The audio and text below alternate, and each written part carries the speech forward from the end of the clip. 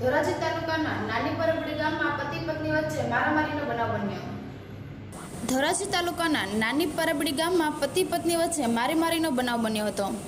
પરપ્રાંતિયમાંથી આવી અને ખેતીકામ કરી ગુજરાન ચલાવતા પતિ પત્ની વચ્ચે બોલાચાલી બાદ પતિએ તેમની પત્નીને કોહાડીના ઘા મારતા પત્ની ગંભીર. ગંભીર હાલતમાં એકસો આઠ દ્વારા સારવાર અર્થે ધોરાજી સિવિલ હોસ્પિટલમાં ખસેડાયા હતા. માથાના અને હાથના ભાગે ગંભીર ઈજા પહોંચી હતી. વધુ સારવાર અર્થે જૂનાગઢ સિવિલ હોસ્પિટલમાં રેફર.